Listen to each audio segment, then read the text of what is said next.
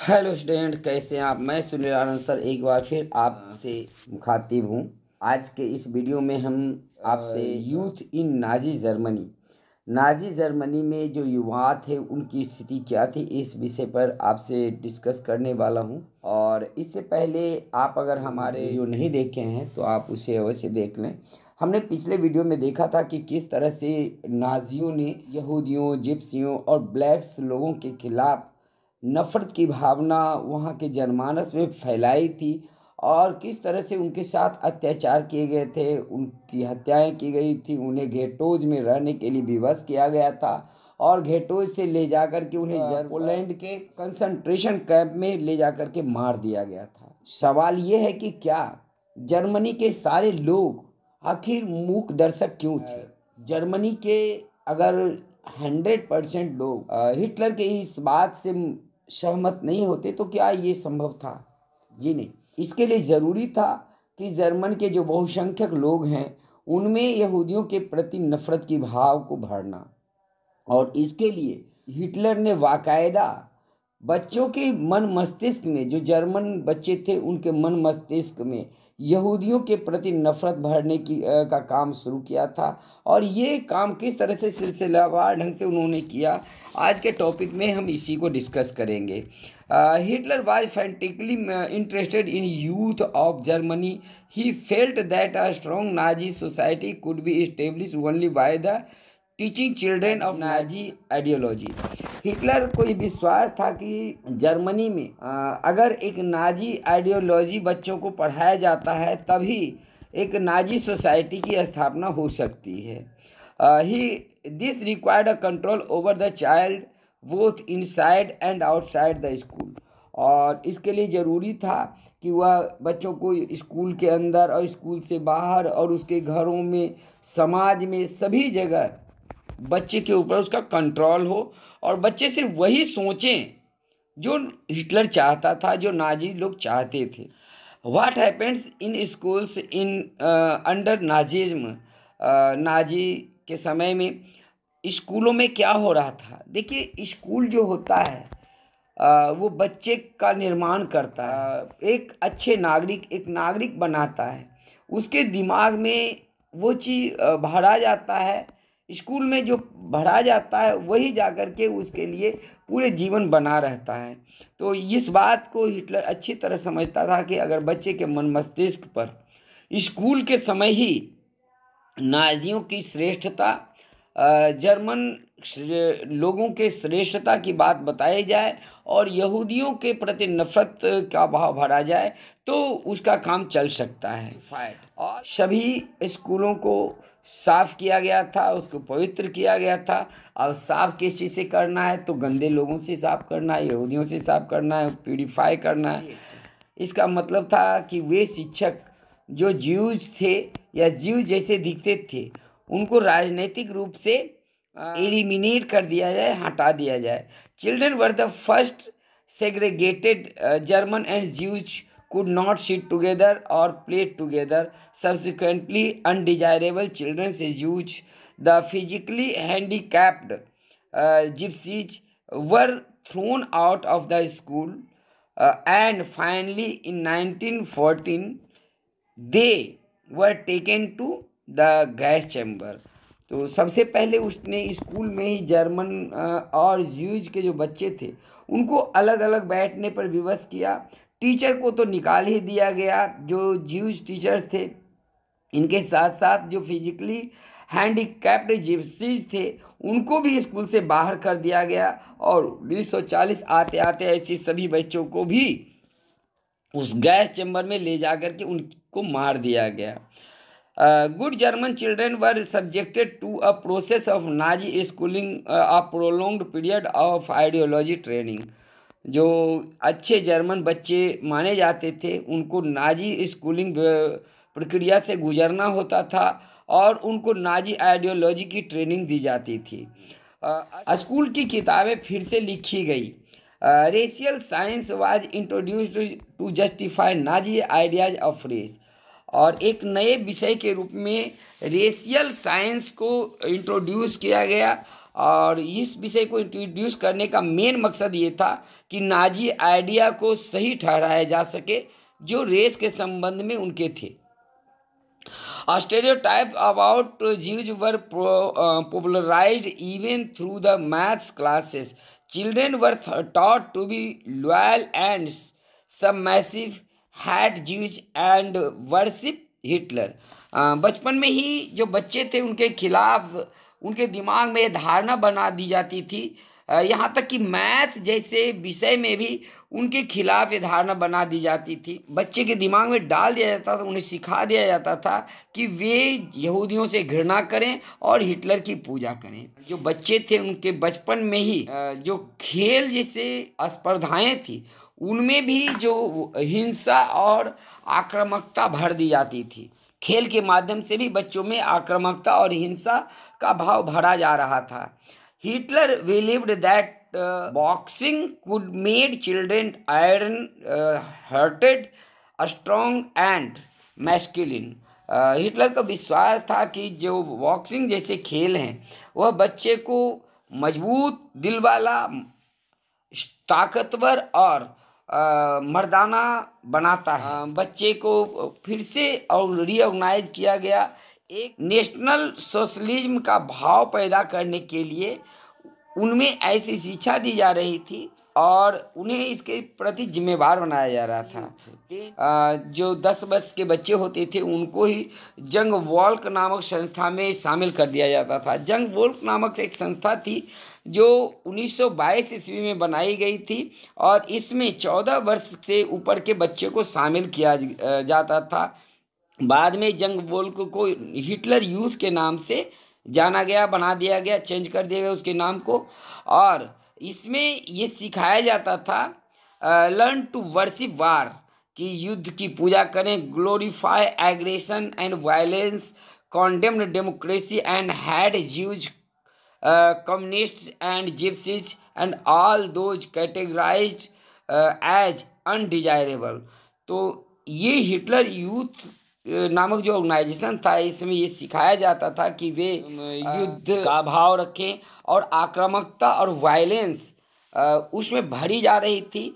इसके साथ साथ लोकतंत्र के प्रति नफरत इनके साथ साथ जो यहूदी थे जिप्सी थे उन सभी लोग जो अनडिजायरेबल लोग थे उनके खिलाफ नफरत का भाव इस हिटलर यूथ नामक संस्था के बच्चों में भरी जा रही थी। नाजी यूथ के बाद जब बच्चे 18 साल के हो जाते थे तो उनको लेबर सर्विस ज्वाइन करना पड़ता था और लेबर सर्विस के बाद जब यानी चौदह वर्ष के बाद उनको लेबर सर्विस में ज्वाइन करना पड़ता था और जब वो अट्ठारह साल के हो जाते थे तो नाजी आर्मी में उनको शामिल करा दिया जाता था। आइए यहाँ पर हम कुछ देखते हैं चित्र के माध्यम से। ये स्कूल है। देखिए, यहाँ पर एक बच्चा बता रहा है कि जो यहूदी होते हैं, उनकी नाक अंग्रेज़ी के सिक्स लेटर जैसे होते हैं। यहाँ पर देखिए क्या होता है, जो Jewish teachers and Jewish peoples expelled from school under the jeers of classmates, जो जर्मन बच्चे थे, जर्मन लोग थे, उनके द्वारा जो यहूदी टीचर थे और बच्चे थे, उनको स्कूल से निकाल दिया जाता था। उसी को इस चित्र में दिखाया जा रहा है। यह चित्र 1936 में एलिवरा वेडर न्यूरमबर्ग में बनाया गया था। The youth league of the Nazis was founded in 1922 four years later it was renamed Hitler youth. मैं पहले ही बता चुका हूँ कि जो यूथ लीग था जिसको जंग वोल्क कहा जाता था उसकी स्थापना 1922 ईस्वी में की गई थी। चार साल के बाद जंग वोल्क का नाम बदल करके हिटलर यूथ कर दिया गया। लोगों को एक करने के लिए नाजी कंट्रोल उस पर स्थापित रखने के लिए एक सिस्टमेटिक तरीके से जितने भी दूसरी संस्थाएँ थी नाजी यूथ के अलावा जो हिटलर के समर्थक थे, उनके खिलाफ, उनके अलावा जितने भी उनके खिलाफ काम करने वाली ऑर्गेनाइजेशन थे, सबको बंद कर प्रतिबंधित कर दिया गया और उसको एक एक करके समाप्त कर दिया गया। तो इस वीडियो में हमने जो युवाओं की स्थिति थी जर्मनी में, उसको देखा और हम इससे समझ सकते हैं कि जब बचपन से ही बच्चे में किसी के प्रति घृणा का भाव बढ़ रहा जाएगा और जब किसी व्यक्ति को भगवान की तरह दर्शाया जाएगा तो आगे चल कर के वो भी वैसे ही बनेंगे। और यही कारण था कि हिटलर अत्याचार की सभी सीमाओं को पार कर सका था। आइए देखते हैं कुछ अलग अलग लोगों की राय, जो नाजी जर्मनी की हालत उस समय थी। क्या वो कहते हैं? एक फ्रॉम शेरर नामक व्यक्ति थे फ्रॉम डब्ल्यू शेरर उन्होंने rise and fall of the third Reich Reich इसमें उन्होंने क्या लिखा है? उन्होंने लिखा है all boys between the age ages of six and ten went to a preliminary training in Nazi ideology जो छः से दस वर्ष के बच्चे थे, इनको नाजी आइडियोलॉजी को ट्रेनिंग पाने के लिए भेजा जाता था। At the end of the training they had to take the following oath of the loyalty of the Hitler और दस वर्ष के बाद वो उन्हें हिटलर के प्रति वफादार रहने के लिए शपथ लेना पड़ता था। शपथ में क्या होता था? वो लिखता है in the presence of this blood banner which represents our feeder. In the presence of blood blood banner, which represents our feeder. इस रक्त ध्वज की उपस्थिति में मैं यह शपथ लेता हूँ कि I swear to devote all my energies and my strength is the survivor of our country Adolf Hitler हमारा पूरा ताकत, हमारी पूरी एनर्जी, हमारे सेवियर, हमारे रक्षक, जो देश के रक्षक हिटलर हैं, उनके लिए होगा। I am willing and ready to give up my life for him मैं अपना जीवन उनके लिए देने के लिए तैयार हूँ। सो हेल्प मी गॉड इसलिए ईश्वर हमें मदद करे। सोच लिए हिटलर के प्रति बचपन में ही लोगों में ये भरा जाता था उन्हें शपथ दिलाई जाती थी कि वो हिटलर के लिए अपना जान भी देने को तैयार हैं। Robert Ley head of the German Labour Front कहते हैं। जर्मन लेबर फ्रंट के हेड लेबर रे कहते हैं। We start. When the child is three years old. जब बच्चे तीन साल के ही हो जाते हैं तब से ही हम शुरू हो जाते हैं As soon as he even uh, starts to think, he is given a little flag to wave. जैसे ही वह कुछ सोचने लायक होता है हम उसके हाथ में एक झंडा थमा देते हैं छोटा सा झंडा थमा देते हैं। आ, इसके बाद वह वक्त आता है जब वो स्कूल और स्कूल के बाद हिटलर यूथ में शामिल होता है और मिलिट्री सर्विस में शामिल होता है। लेकिन फिर भी हम उसको छोड़ते नहीं हैं। हम उसको कभी छोड़ते नहीं हैं। उसको तब तक उस पर नज़र रखी जाती है। भले ही वो पसंद करें या ना करें, उसको अपने कंट्रोल में रखा जाता है। यहाँ पर आप देख सकते हैं, ये जो जेविस चिल्ड्रेन है, इनको डेथ फैक्ट्री में ले जाया जा रहा है और मरने के लिए वहाँ जाने से पहले का ये चित्र है। बड़ा दर्दनाक चित्र है। ये डिजायरेबल चिल्ड्रेन हैं। हिटलर ऐसे बच्चे को पसंद करता था और जो इस तरह से जर्मन ब्लड वाले बच्चे होते थे उनकी माँ को पुरस्कृत भी करता था।